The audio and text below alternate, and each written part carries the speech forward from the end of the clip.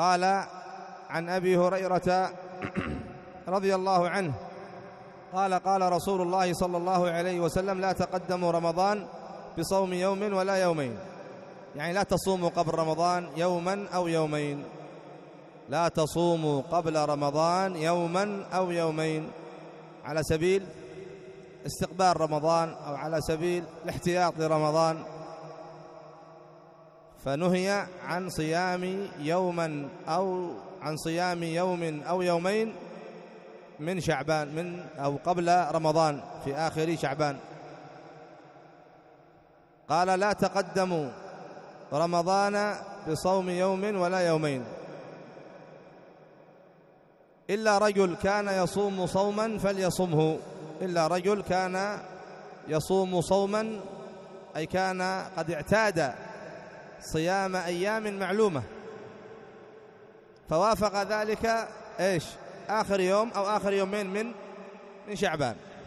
إنسان معتاد على الصيام الاثنين والخميس فصادف أو فوافق ذلك آخر يوم أو يومين من شعبان. فهذا لا بأس. قال فليصمه. اذا النهي عن صيام يوما عن صيام يوم أو يومين قبل رمضان هذا إذا كان على سبيل استقبال رمضان وعلى سبيل الاحتياط لرمضان.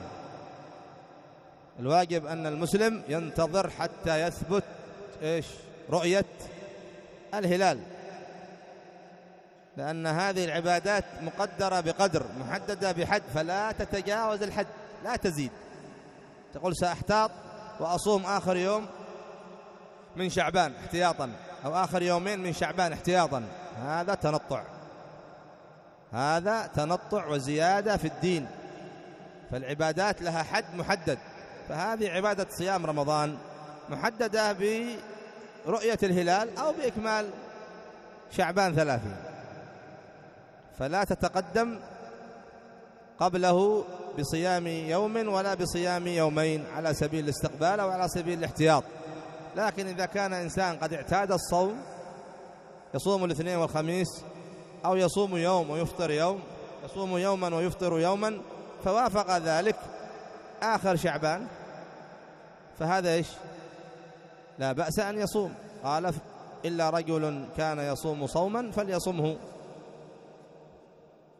أو كان مثلا عليه قضاء ولم يستطع إلا في آخر شعبان فإنه يقضي.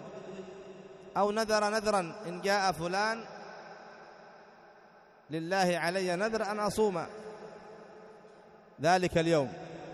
أو أصوم اليوم الذي بعده. فجاء فلان في الثامن والعشرين من شعبان. فإنه ماذا؟ لا بأس أن يصوم يوم التاسع والعشرين من شعبان. لأن هذا نذر. واجب. هو ما يصوم لأجل رمضان. احتياطا لرمضان أو استقبالا لرمضان لا. وإنما يصوم وفاء لنذره الذي وافق في آخر شعبان الذي وافق في آخر شعبان. وهكذا إنسان يعتاد الصيام ثلاثة أيام من كل شهر فلم يتمكن من صيام الثلاث في أول الشهر ولا في وسط الشهر ما تمكن إلا في الأيام الأخيرة. يصوم ولا ما يصوم؟ يصوم الثلاثة الأيام. ولو وافقت إيش؟ آخر شعبان. هذا كله داخل في قوله إلا رجل كان يصوم صوما فليصومه. إذا اضبط. النهي إنما يكون عن صيام يوم أو يومين قبل رمضان على سبيل الاحتياط لرمضان أو على سبيل استقبال رمضان. فالمسلم يجب عليه أن ينتظر إلى أن يثبت رؤية الهلال أو إكمال شعبان ثلاثين ثم يبدأ بصيام رمضان.